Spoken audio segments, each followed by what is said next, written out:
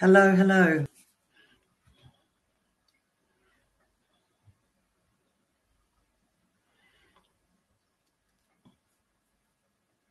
Hello, folks.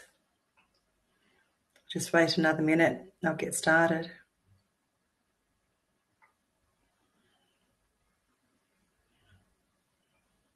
Hi, everyone.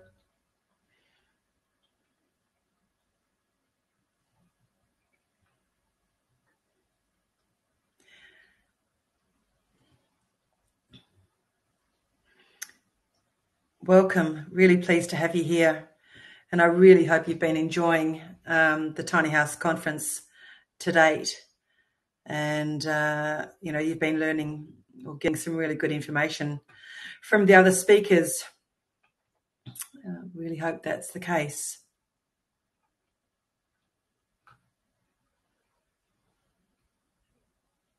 I'm going to get started. And so I'm Janine Strachan, and I'm the president of the Australian Tiny House Association. And it's my pleasure to speak to you here again at the US Tiny House Conference. I spoke uh, at this conference back in March, I think it was, of 2021. And at that stage, I spoke about what's happening in in Australia in the tiny houses and tiny houses down under, and um, you know, it was a really enjoyed that experience, and and I was uh, approached to come and speak again. And for this, for today, what I'm going to be talking to you about is the Australian Tiny House Construction Guide. This guide is, um, it, it is, there is text, but I'm trying to improve it. I'm trying to also incorporate uh, pictures as well, so we can hopefully, uh, so that it can right. So that it can um, you know be interest interesting to you as well. What i'd like to do is um, answer any questions towards the end of the presentation just so i'm not stop starting. And also hand over the mic if anybody wants to ask me a, uh, either put a question in the chat or certainly if you want to ask me a question verbally um, you know please feel free you know to do that as well. Engagement is really important. Um, you know, I, I um, you know, incorporate or I, I teach online as well. So, you know, I really like the feedback from people. And, um, you know, I hope that you'll find what I've got to say interesting and informative. All right. So, um, without further ado, I will get the screen ready, the presentation ready. And Zach, I know that you're there. Could you just confirm, please, that you can see the screen for me? Can you just tell me? Yeah, we can see it. We can... Great, thank you. Just go back a couple. Just go back one more.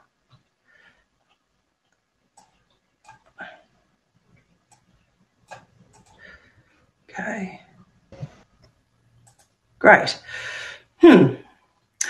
All right. So yes, I'm I'm the president of the Australian Tiny House Association, and it's a it's a pleasure to be in that role. And we are a voluntary association. We're made up of um, we've got a strong committee. Where there's a, we've got a committee of of sixteen.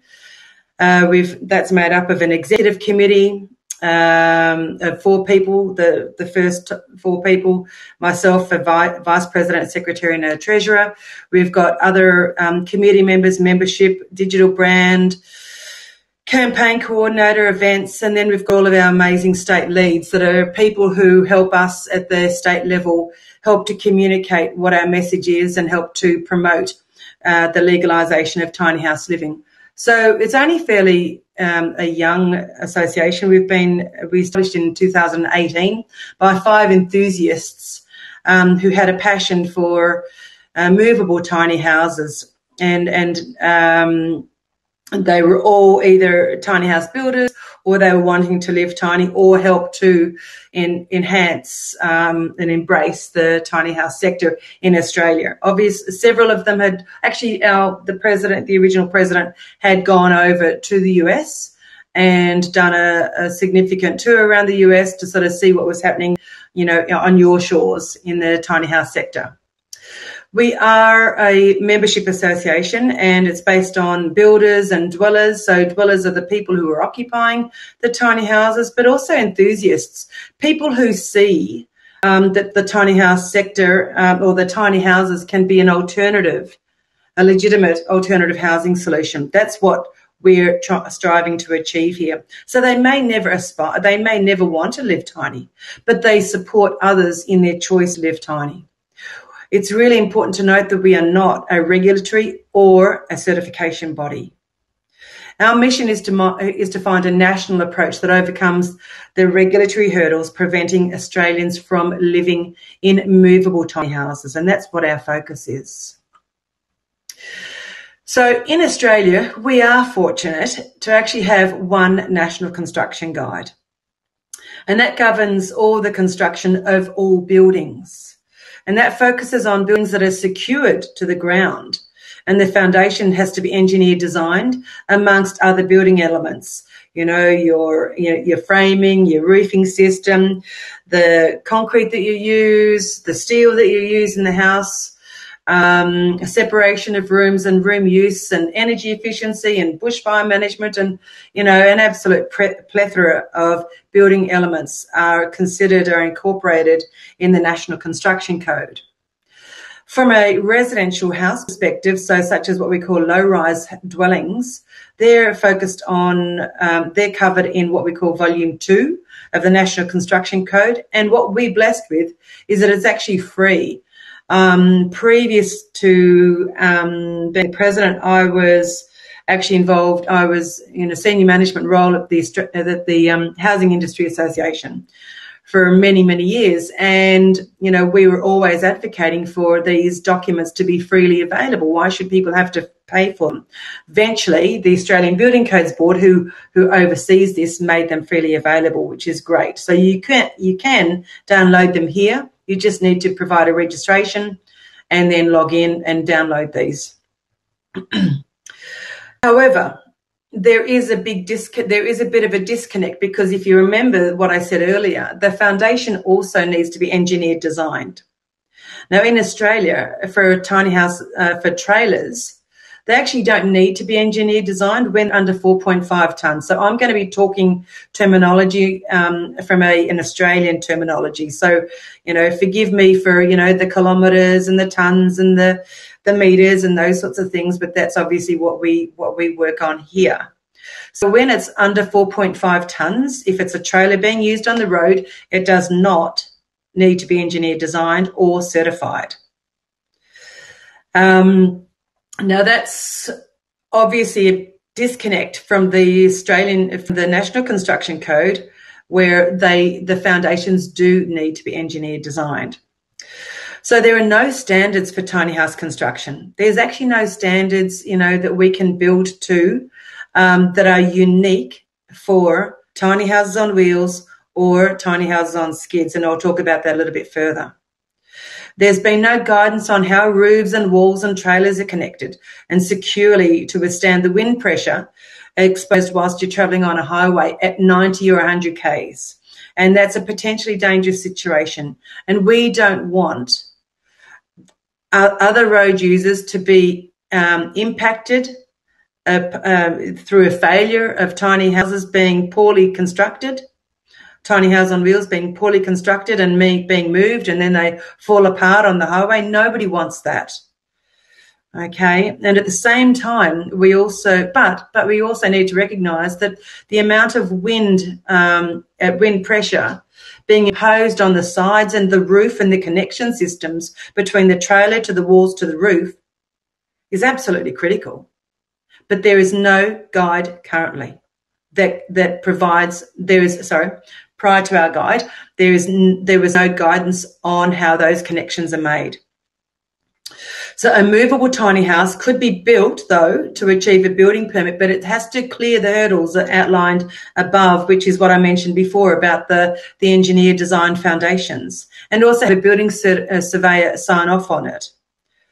So we know that we can actually get building uh, tiny, movable tiny houses when they're secured to the ground through, you know, diamond piers or screw piers or even concrete pads and, and, and anchored to the ground. Once they're anchored to the ground, then we can try to get a, we can get building permits for them. However, that comes with it other implications, which is the the building permit is issued to the landholder, not to the owner of the tiny house. And so, if they are different, then you've got to make sure that you've actually got um, legal agreements for land use and through a, a tenancy agreement or some sort of land security agreement so that the that the landowner doesn't claim the tiny house down the track. They're different. That's a whole different story though. So the movable nature also causes difficulty for the range of climate zones and thermal comfort. Exactly what you guys are experiencing there. You may be building in Florida, but you might move it up to Oregon and you might move it up to, you know, other, you know, parts of your country we are both very large countries, you know, and from a landmass perspective, you know, from east to west to north to south, extremely different environments. And then you've got your altitude, you know, um, in that as well. So again, very, very cold environments. We, obviously, we're not as cold as you.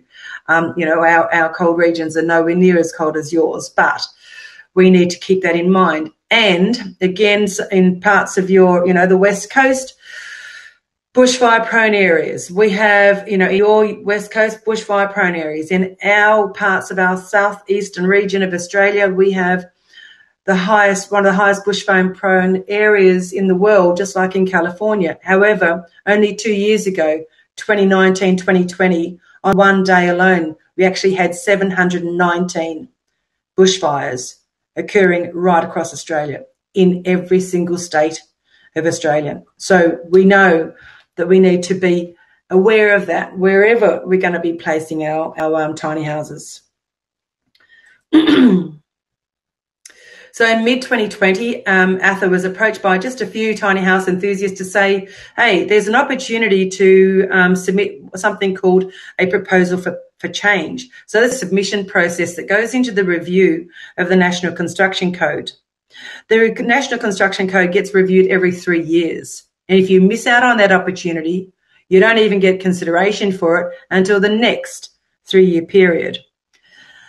Uh, we looked at it, we explored it. Just at the 11th hour, we pulled our construction guide out of the process because we we're advised that once we submit the construction guide through the um, through, through through the Australian Building Codes Board proposal for change, that we lose all control of it.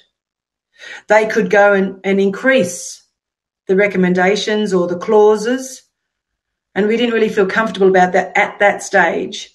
and we wanted to make sure that, that we can test what we've written before we have it incorporated if if that was the pathway.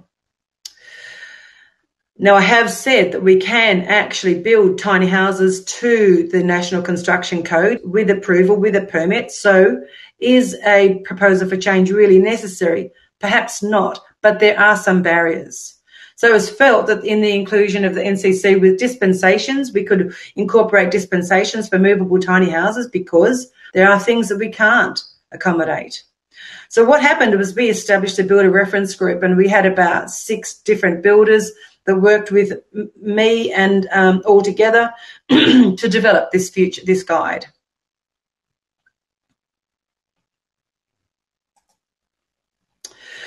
So it is only focused and recognises tiny houses on wheels as well as skids as habitable dwellings. It is not focused on the tiny houses on permanent foundations in regards to, um, you know, not on skids or, or trailers.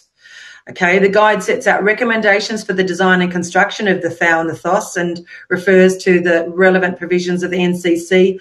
Where I talk about that, I'll skip over it because otherwise I'd have to go back and I'll just note it there because this is what the, it is based on. The appendix, we've also got appendices and they relate to siting and the moving of the tiny houses. And the guide is promoted by ATHA to tiny house builders, DIYs, aspiring tiny house occupants to encourage the safe and structurally sound construction practice and assist where local authority approvals are being sought. we want to throughout this year, and obviously, you know, we in Australia are, you know, I'm in now the most locked down, you know, well, I'm, I'm out of Melbourne, but we're the most locked down city in the world now um, from a COVID perspective. But, you know, other areas of other areas of Australia are doing okay. And New South Wales and Victoria for us are doing it hard again, but our numbers, are, our COVID vaccinations are going up, and so hopefully we'll start to get more freedom. With more freedom comes more people, you know, striving to build their own tiny house and and and so on. As well as we all know the impacts of COVID and homelessness, the increase of homelessness, and so that's what we're really focused on as well, making sure that this is occurring. So we're focused on, we're defining a movable tiny house as, um, as having self-contained amenities and services and option to be grid connected. Not everybody wants to be um, grid connected, but if they do, then um, that's obviously a lot more affordable for them. And we're saying that a, tiny house, from our perspective, is a movable um, tiny house, is a transportable structure with the ability to be moved. That's the, an example here on, on a skid and a tiny house on wheels is constructed on a trailer designed to meet road legal dimensions which can be moved. The um, foundation, the trailers, as I mentioned earlier, under our National Vehicle Standards Bulletin, VSB1, trailers um, that are for trailers great not greater than 4.5 tonnes of trailer mass. Um, they um, or uh, sorry, they they this VSB ones um, addresses trailers when they're under 4.5 tons of greater uh, of um, 4.5 tons of aggregate trailer mass. But when they're over that, they need to be engineer designed, and this v, VSB one does not come into effect. That is when they're going oversized, when they're over 2.5 meters in width, if they're um, over 4.3 meters in height, and if they're over 12 meters in length all of those, take them out of the VSB1. And also, the v, when you are building on a skid, then you also need to have that um, skid engineer designed. Um, what we're focused on is having a structural. We want to make sure that the connection between the roof, the wall, and the and the um, chassis, um, or the or the floor is all connected and seamless. So there's a couple of examples here. In this example here on the far right hand side, we've actually got just a, a mock up of a timber frame construction. It could equally have also been a steel frame construction, but we've got steel rods that you can have steel rods that go from the, the top plate to the bottom plate, um, you know, through the frame and also the, the roof structure. This is an example of what I build. Um, we build, my business builds um, SIPs, structurally insulated panels. So I've got a C channel uh, welded right around the perimeter beam of the trailer. Um, and then I sit my, sit some of the SIP within that, and then and then overlap it, and then I bolt all the way through from the outside to the inside and through the um, through the steel seal cha- uh, C channel, and so it's extremely secure. And then on my um, roof systems, I've got 180 millimeter long um, connectors that drill um, connect all the way through, as well as a whole range of other systems as well. They've been extremely and really, really secure. So we all need to take responsibility about site preparation really seriously. And when as we have a stormwater, when we have a rain event, we need to manage our stormwater runoff properly that is collating it into a spot so that we're not causing, you know, overland flow, we call it. Um, and that overland flow goes onto somebody else's property and causes a nuisance. That is illegal here. Um, you have to maintain your stormwater on your property, just like um, wastewater runoff as well. Maintain and then put it through the um, the pipe network. We also need to have good subfloor ventilation systems so that allows that good air circulation under the subfloor to reduce mold. We really um, are encouraging that, or we want through our guide that all structural drawings are prepared either by the manufacturer, it might be a prefab company, um, or it might be some other, you know, um, steel supplier and then it's certified by a structural engineer where relevant and applicable to um, if it's timber or steel framing, then there's a schedule that um, it's it's designed to. Obviously, if it's a SIP, then a SIP wall and ring system, then it's designed to the manufacturer's um, specifications. But we also recognise that there are maybe other alternative framing systems, maybe not just yet, but in the future, um, because most of us will be building with timber or steel or, or SIPs. And the bracing and the tie down details have to be engineer designed as well because the bracing and that tie down is absolutely critical to make sure that it's safe when it's being moved on the road. Um, as well as when we have, um, if you're in a cyclonic area. The other day in, in New South Wales, we actually had two, three tornadoes. We don't have tornadoes in Australia. And in Melbourne the other day, we actually had an earthquake as a, um, factor five, uh, level five, level six earthquake, which again we don't have. Really weird. New Zealand's trying to come in underneath our um, under our stable continental shelf and causing us a bit of disruption. So there's some computations that we need to ensure that are occurring, and this is what we build. You know, timber and steel and SIPs. I'm sure most of you are building something along those lines. Now, sheet roofing, I'm talking about sheet roofing. I'm not talking about um, tile roofing because obviously the weight, but I think in, it's, in the US you might have other roofing materials, but generally speaking, most of the roofing on tiny houses because of the weight will be sheet roofing. There is ways to connect it safely to ensure that um, that it doesn't become a weapon as it's being transported along the road, and that it doesn't become a weapon in the event of you know a wind, you know, high rain, high wind event. So there are elements within the BCA. Um, the the BCA is also interchangeably with the National Construction Code um, that we need to adhere to about our securing and what sort of um, what sort of uh, screws we need to use, and and frequency of that as well.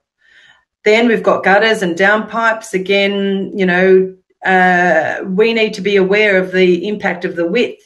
If we're building at 2.5 meters wide, which is the maximum width tr- accessible on the road, then any projections beyond that, such as a gutter, will will put us out of that limit. So we need to be aware of that. Maybe there's a way that you can transport it without the gutter and, and, and relocate it um, on the site when you get to the site.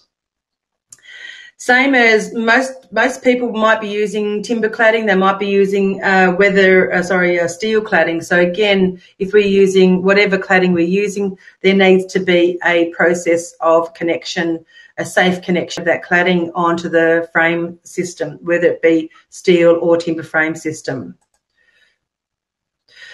With the structural floor, uh, that needs to be engineer designed. We need to make sure that it's going to, whatever flooring that we're going to put down is going to support the intended weight. We call it dead weight and live, uh, uh dead load and live load. Live load is us, the people, and our furniture. The dead load is the other materials going on top of it and um, you know, such as um, you know the walling system, the the internal walls and doors, the framing, and also the roofing. So that's called the dead load. Now, glazing is an interesting one for people because a lot of people, especially if they're DIYs, they're wanting to use second-hand windows. However, in, in, in Australia, we've got two standards that they um, that, that we address. One is for pretty much new windows, but if you're using second-hand windows, then you need to uh, comply with what we call Australian Standard 1288. The new one are really AS 2047. No matter what, the focus of the windows is designed to be thermally efficient, to be waterproof, and to be safe for the intended use. It also covers off on the windows that are intended in wet areas, such as your shower, um, you know, your shower screens. If anybody's using shower screens, you won't want to use the same. You need to use toughened or laminated glass in those shower screens because in a wet area, um, you if you slip, you you you would be fall, you might be falling against that screen, and you can't have um, the shards of glass you know, cause that injury. Just the same as, you know, our windscreens, our car windscreens these days and have been laminated um, you know, for a very long time. so that issue about the second-hand windows is a bit of an issue for, or that that point about the second-hand windows is a bit of an issue for a lot of DIYs. Um, because it's complicated for how the, how do they get tested um, you know that they are still um, reasonable now they might be three mil three mil pane glass and i wouldn't put anything in less than what we call four mil um, thickness of glass just because of the the rigidity there's a lot of um, there's a lot of movement as we take the you know, tiny houses along the freeway, there's a lot of movement um, and wind pressure loads, and you want to make sure that that glass is as thick as possible. Um, but obvi- obviously, also every time you increase the size of, of an, any element, you also increase the weight as well. Now, this is going to be an interesting one for some of you here because a lot of people really love skylights, and I do too. However, if that skylight for us or if a window for us is above two meters above the ground, and I know people are talking about them and using them as fire escapes, but you know, we don't need to do that here in Australia. But we would need to limit that opening by one to 125 millimeters, which is only the size of a baby's head. Right. And the reason being is because so, and, and any, any of our windows that are over that two meters above the ground needs to be restricted to that 125 so that these little, little these little ones don't fall out. Okay. Other things, if we've got information about fire protection, um, you know, 10 year photo, photoelectric smoke alarm and dry powder extinguisher. And, and if you do have gas, which most people will have gas in their tiny house, either for cooking mostly, maybe for the hot water service, but that should be outside. Um, you know, there is requirements of ventilation, uh, you know, to um, where it's got to be placed and, and how it's got to be ventilated. Also, any flames, we are not able to put any any um, cooking flame in front of a window unless it's a toughened window.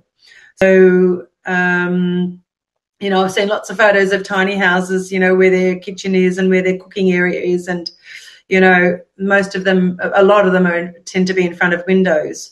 Um, that's okay for us if it's toughened glass, if it's actually designed for that, for heat resistant glass, but it's most of them probably wouldn't be.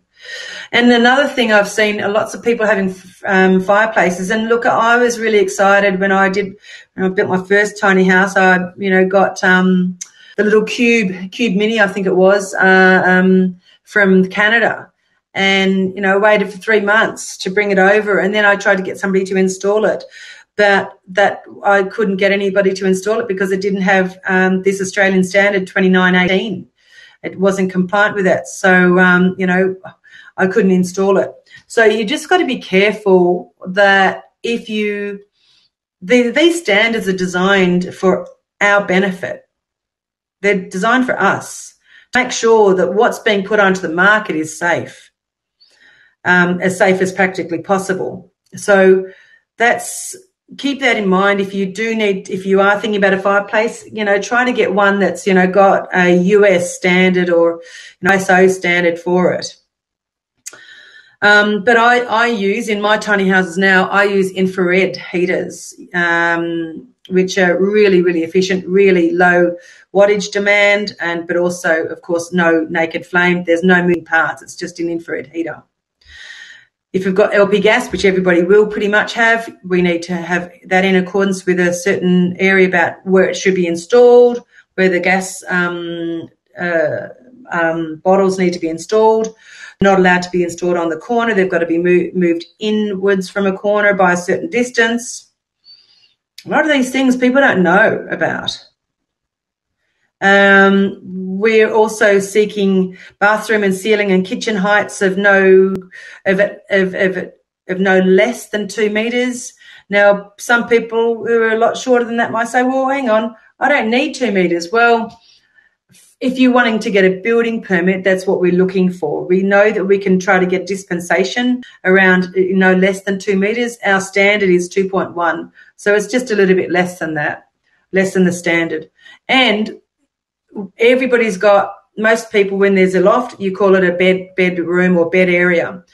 For us here in Australia, we're changing that terminology to bed platform, like a bunk, just like a bunk, because we all know that, and through your Appendix Q, um, you know, and we've used that in our guide as well, the um, steps are, are, steeper in our tiny house when you're getting to a, um, a loft because of the smaller footprint of the tiny house and you can't have the normal standard, um, what we call rising and going.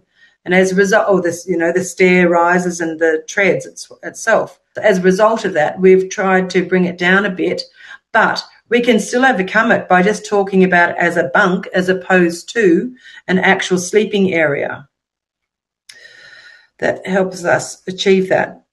Some of the sorts of things that we can we need to incorporate in a dwelling for us is a kitchen with facilities for preparation, bath, a shower, toilet, washing machine, a wash basin. You could also have a washing machine, which would which would compensate for that. And also, from a safety perspective, if somebody's in the toilet and they have a heart attack, or if they're in the shower and they have a heart attack and they fall down, they need to have at least 1.2 meters in front of the, the toilet or in the shower. Um, so that in the event of that, somebody can still open the door and get them out. It's really, really important. Most people building tiny will have um, sliding doors maybe bifold, but you know, opening doors is a waste of space in tiny houses. We've also got something about 10% of floor area needs to be lit. We've also got, if you've got a sanitary area off the food kitchen area, then it needs to have an exhaust fan discharging to the exterior. And of course, of course, cooking appliances using combustible fuels needs to be exhausted um, outside external venting for kitchens um, is a really good practice because also reduces condensation. The amount of condensation that generates um, in a house when you uh, have not got your exhaust fan is really considerable, and that that condensation can end up in your in your building materials and cause health impacts down the track. We don't want that. Oh, and um, just one other thing. Sorry. Hmm. This must have clicked the wrong one. Yeah, and then we've got some we've got some stair designs. I don't expect you to read those dimensions, but we've got opportunities for landings, um, which is where a lot of people like to, you know, put beside their sleeping platform and, you know, rest their legs on a normal, you know, um, 90 degree angle and take off their shoes or whatever and then pop into bed. So we've got a few different designs here, but overall, um, you know, they're just um, providing some guidance for people. Now, because as I said earlier, in regards to Australia and the US, particularly, you know, we're big countries. We've got really extreme temperatures. Um, and so we can't define you know, exactly the level of insulation that be required. Now you notice that our our R values are significantly different to yours. Yours is a multiple of I think of about six or eight um, times. Ours is like our, our, our, four batt will be something like about um, 175 millimeters thick, so pretty thick. Um, anyway, it's understood that when a thou, um, if there's no heating or cooling, if, if the thou doesn't need heating or cooling in the construction, then it's an un, what we call an unconditioned space. And as a result of that, it doesn't require what we call an energy rating that is otherwise required for all houses, no matter where new houses and also big renovation projects, no matter where it's being built across Australia. So what we though have done is provide at least a minimum requirement, you know, saying, you know, at least walls should be having an R value of two, roofs should be an R value of four, subfloor, um, because of the um, cool, en- cool, the entry of the cools and also the release of the heat. Also to have an R value of one, and external glazing should be at least um, have a thickness of four millimeters. And if you, I mine, I design double glazed, thermally broken double glazed windows. uh, for my areas because I typically build in um, Victoria, but other people might just have what we call low E glass, which is low emissivity glass, helping to reduce the heat entry. That would be particularly important for areas where there is um, um, where it's a where you spend more money cooling the home. And lastly, we've also got a wastewater management guide that's under development at the moment. One of our members has taken who who's been working in the wastewater management area in composting toilets, particularly for the last 35 years has taken this job on for us to develop a wastewater management guide. It is nearly at its completion.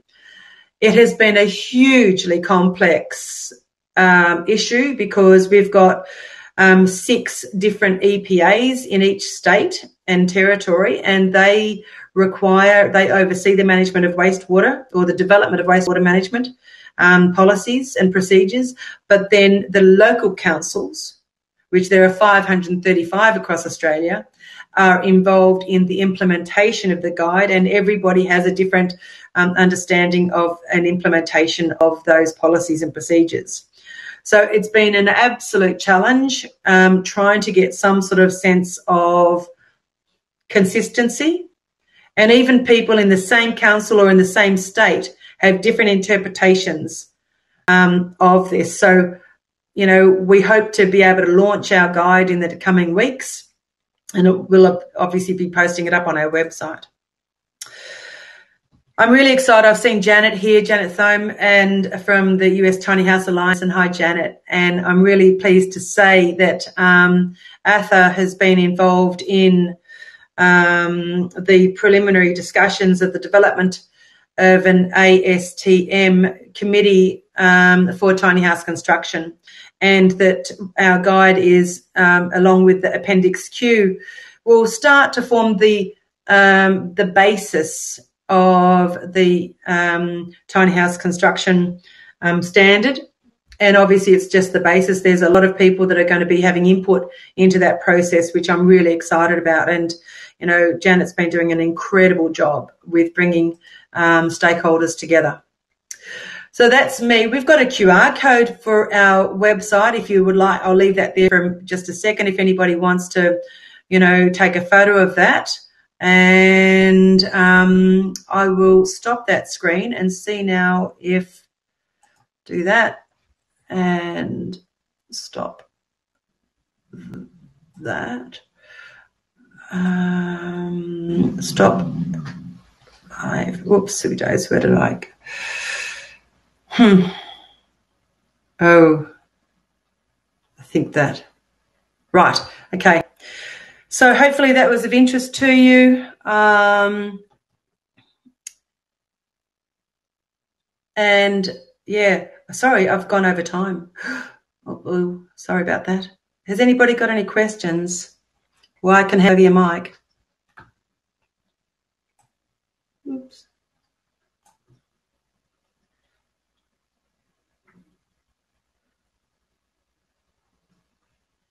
None? All right. Well, thank you very much for listening, everybody, and um, enjoy your tiny house journey. Thank you.